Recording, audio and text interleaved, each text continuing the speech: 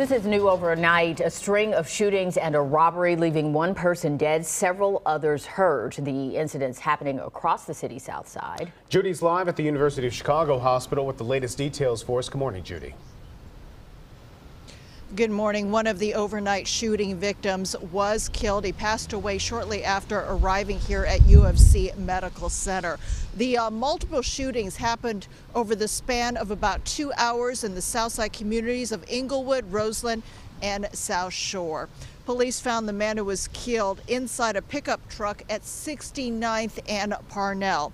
The vehicle had crashed into a fence and a tree just after midnight, and when officers approached the vehicle, they discovered that the man who remained unidentified had been shot in the chest. About an hour earlier, a 53 year old man was shot several times in Roseland. He was standing on the sidewalk on the 300 block of 106 where someone walked up and shot him.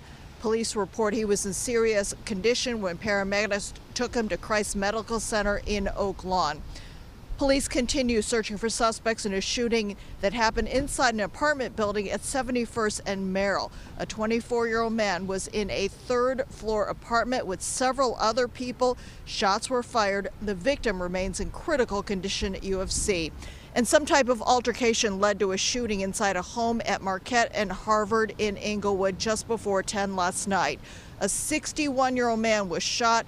His condition remains critical this morning. Now, in this last shooting on Marquette, police do have one person in custody. They continue searching for uh, the suspects in all of those other incidents that happened over that two hour span.